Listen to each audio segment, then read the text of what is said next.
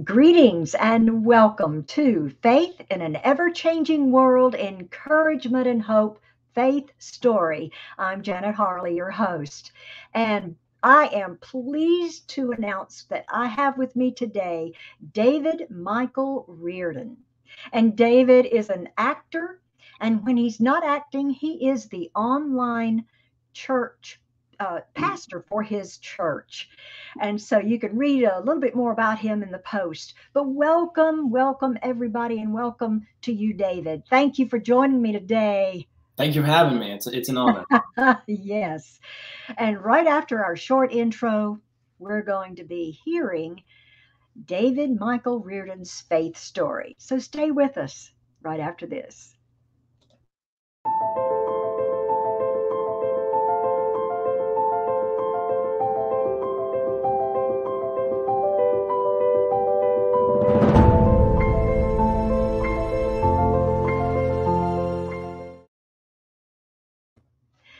Welcome back.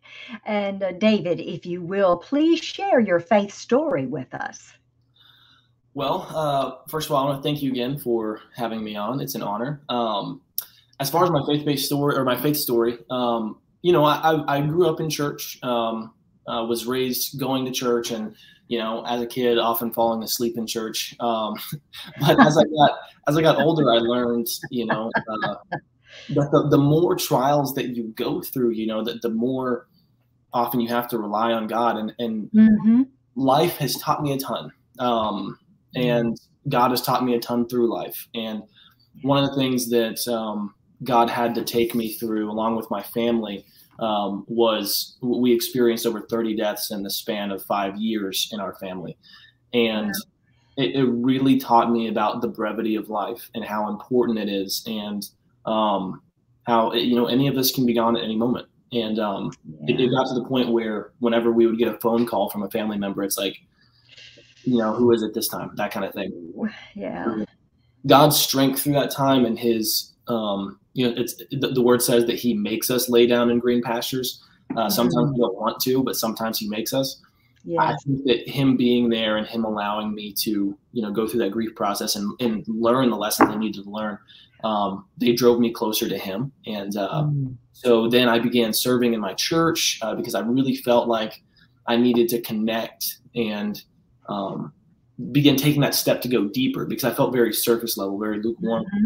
And the more I served, you know, from we had a stewardship team where basically we cleaned the bathrooms and you know the entire, you know, the sanctuary and everything. Right. Um, you know, we pray, we clean. Afterwards, we pray again. Mm-hmm. We go that eventually led me into you know serving on an online team and then becoming the online pastor and through that it has been so transformational um, and it's been something that has strengthened me so much uh, whenever i go to, into projects um, and into you know onto sets and onto films and right. television shows where it may not be a christ-like environment um, but christ needs us there you know so yep. that's uh it, through all of the trials and through everything that God took me through, it, it's kind of one of those things you look back on hindsight and you're like, oh, that's that's why I was there.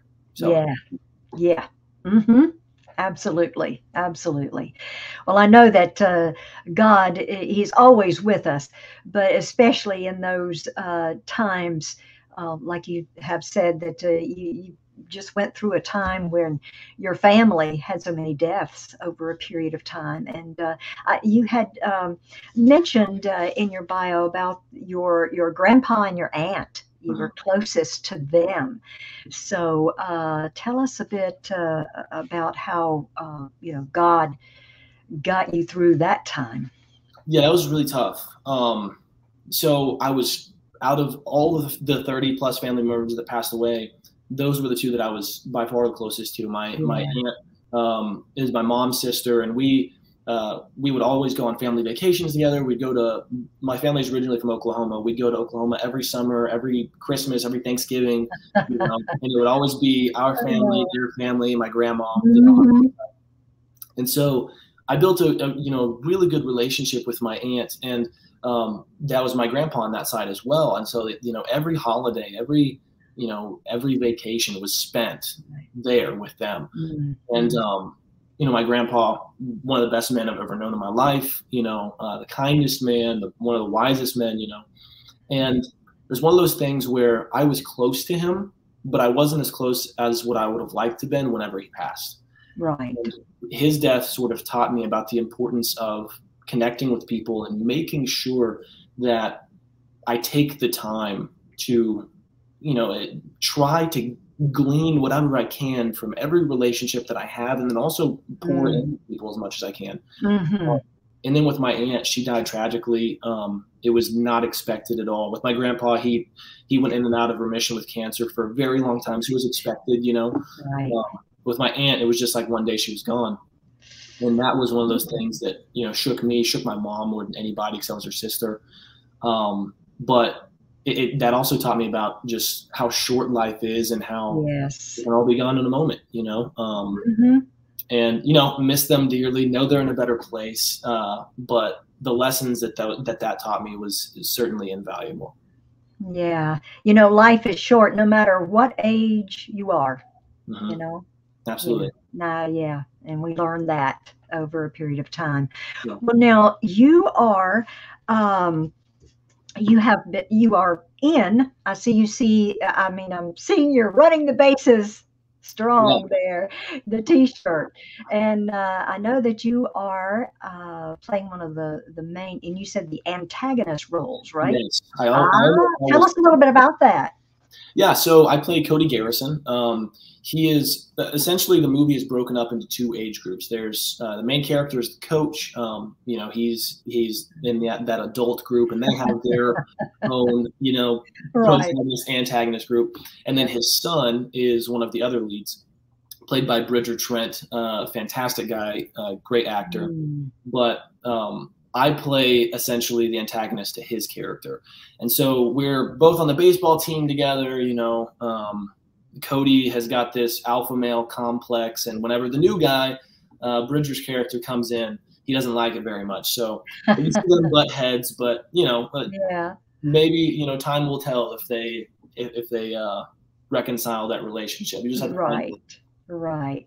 Well, that sounds awesome, and I, I know that uh, we were talking earlier about uh, being on set, and sometimes things can go awry. Mm-hmm. Uh, and uh, but uh, I know that it was covered in a lot of prayer. Yeah. Um, you all had the prayer sessions, and and uh, and also that, and that's always good to have prayer covering uh, the set and um, the scenes that you all are doing and the interactions and all that you're doing. That's uh, yeah.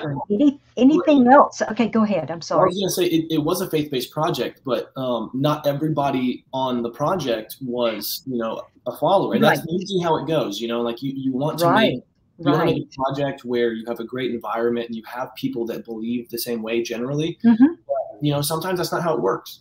That's right. And so, you know, we would hold these prayer meetings on the mound, usually hosted by Cameron Arnett. Love that guy. He's so yes. anointed. Love um, Cameron, yes. Love him. So anointed. Oh. But would, you know, and, and at first, you know, we had we had a big group of people and then, you know, it was a small group of people and it started to whittle down. But then as we encountered challenges throughout uh-huh. the the film set, it's like people started coming back. You know, it's like people were like, "Oh, it, things are not going right today because we didn't pray."